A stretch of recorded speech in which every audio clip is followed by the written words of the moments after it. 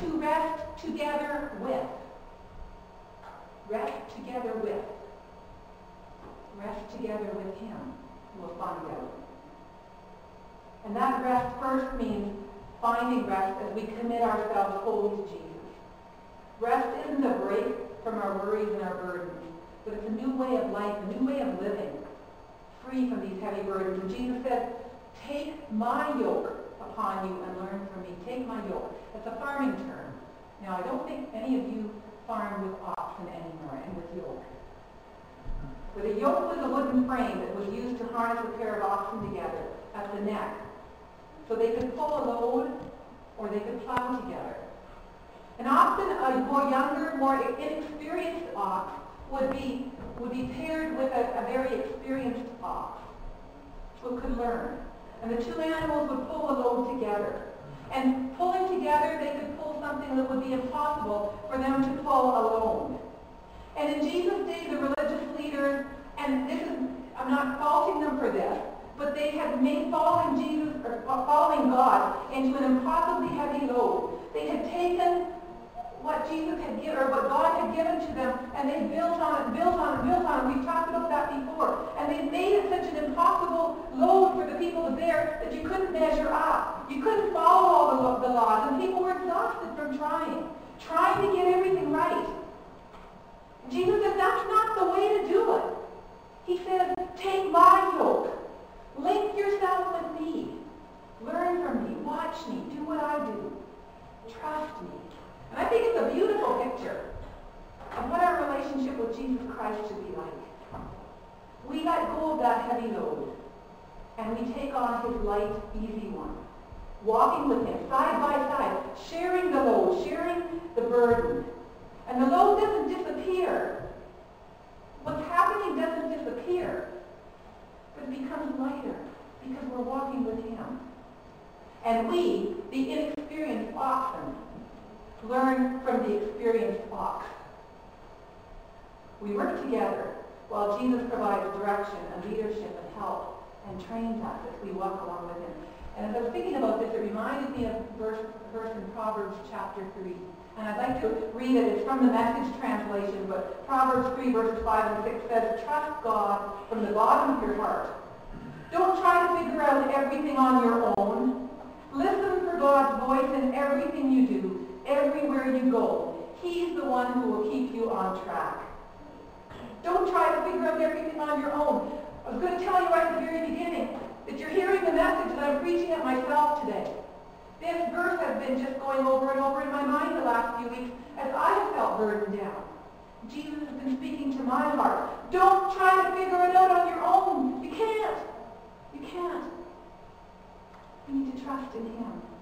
And Jesus invites us to find true, true rest from weariness and our burdens as we are yoked to him, as we commit our lives and our whole self to him. The rest doesn't come in following rules and regulations, but it also doesn't come in doing exactly what we please. It comes in knowing him and walking with him and sharing that yoke and finding our joy and rest as we participate in his purposes for our lives. Oh, God has just been speaking to me over and over again that we, the best life that we can live, the very fullest life to live, is lined up with His will and His purposes. It's why we were created. The Creator, we're here for a reason. And finding that purpose in life we find Him, as we walk with Him, as we do the work that we were created to do. We follow His direction. And as we work together and as we learn from Him, and we, as we trust in him. How can we trust that this is true? How can we trust that this is true? Well, Jesus goes on to say that I, for I am gentle and humble in heart, and you will find rest for your souls. For my yoke is easy and my burden is light.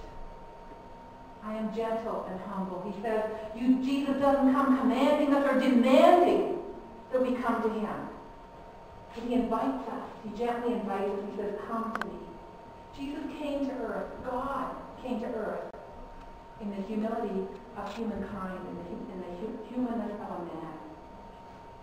And he doesn't force us, but he gently woos us. come and you will find rest for your soul. Jeremiah 6:16 it says, This is what the Lord says, stand at the crossroads and look. Ask for the ancient path. Ask where the good way is and walk in it, and you will find rest for your soul. Which path will we choose?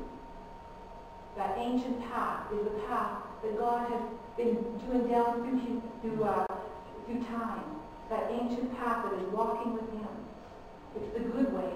And as we walk on that, we will find rest for our soul. And Jesus is offering us this rest. And it's found by coming to Him, following His ways, obeying His words. And Jeremiah goes on to say words that just grieve. He says, but you said we will not walk in God's ways. Will not walk in God's ways. And I thought, as I thought it, I thought, what do we say? Am I ready to repent? To lay down my need to do it myself? To have it my way? To make things work out the way I want them to work out? Are you?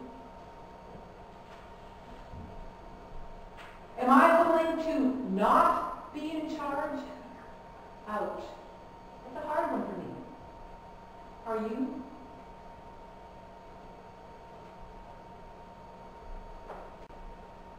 Am I ready to repent of my human desire to control my life and maybe someone else's life as well? Are you? If we carry our own yoke and if we plow our own field, we, we know it will be done the way we want it to be done. We can find rest, at least for a time, outside of Jesus. But at what price? In my reading this week, I came across a quote. In the book Alice, in Wonderland, the Red Queen tells Alice, here in Wonderland, it takes all the running you can do to keep in the same place. Janet, you've been on the treadmill this week. You know what it's like, right? It takes all the running you can do to keep in the same place. If you want to get somewhere else, you must run at least twice as fast as that. Doesn't that feel like life, what life is like? We have to run faster and faster and faster. and we're still not getting anywhere. Is that what we want? To work harder, to struggle and sweat and stew and worry, to carry our own heavy loads? Or will we cast those burdens and cares at Jesus' feet and be yoked to him?